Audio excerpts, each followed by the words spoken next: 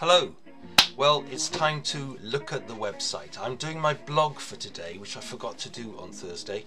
And I thought, well, the quickest thing I can do is actually look at the blogs on the website because we've got 55 of them there at the moment. So let's have a quick look. This is the home page. It's encaustichouse.com is the website. We're on the home page and here you can see that basically Wemke uh, and I are running this website and we do online courses in English, in Dutch and in Swedish now. And then the products that we use, there are videos about that and you can always have a look at the whole page of those by clicking on that link there. But what I want to look at today are the blogs. So let's have a look here. Click on the blogs in the top menu and you'll find yourself straight away on a page with 10 blogs on it. Now there are 10 blogs on every page except for the last page of them. Hot Plate Play, courses in Swedish, Bigger Story, fantasy figures in triad colours, Happy Easter eggs, well that seems to have passed away now, Figure It Out, Ugliest Painting Part 2, Quick Fix in Wax. And at the bottom here you'll see all the other pages that you can go on to. So let's go back to the top and have a quick look inside this cycle of life that Wemke did last week. Looks like trees, and indeed it is trees. So often a blog will contain a bit of writing and then an inspirational video of some sort. So let's have a quick look at that. The video's on YouTube. You can see all of the videos if you click on the links. Of music, and here we are. We've got the process going on, and you can click through the videos so you can skip along if you want to see a bit more quickly we can just pause it there. Often there's more inspiration, different examples, so these are some of the painted trees that Wemke did last week, and she did a Facebook Live about this as well, but more on that in another blog. So if we go back to the blogs, we've looked at this one, let's look at another type. This is the one that I did the week before, Why Paint with Wax. And basically it was a series of five paintings I did, and those paintings are shown here and discussed. It's not necessarily about seeing how it's done, sometimes it's just about discussing the painting.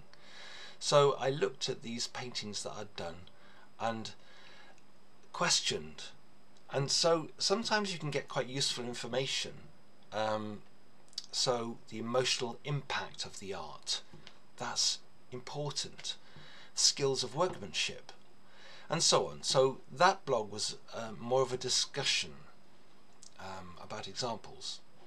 Hot plate play.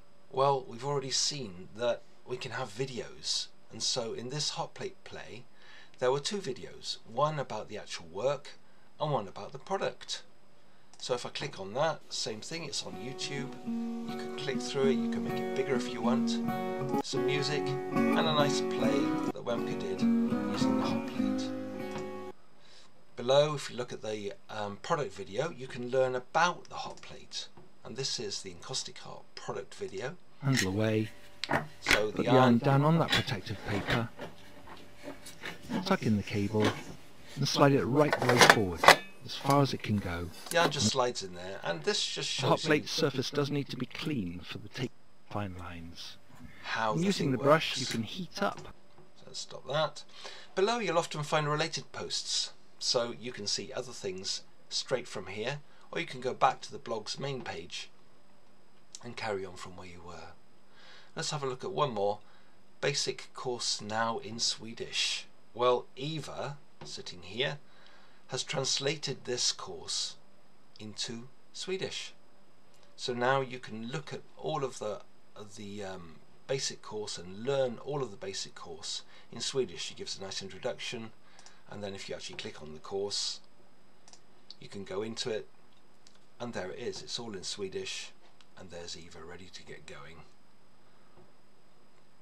Hej och välkommen till Encaustic House och den här utbildningen som heter So what I'm saying really is that in the blogs there's a huge amount of free information. Some of it very useful very helpful Remember at the bottom there are six pages, so if we click here, page number four, blue snow candles.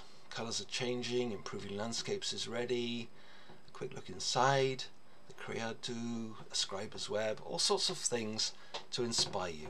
And I hope that this little blog introduction has inspired you. I'm going to say goodbye now. Thanks for your time and I hope you enjoy your encaustic art. Bye bye.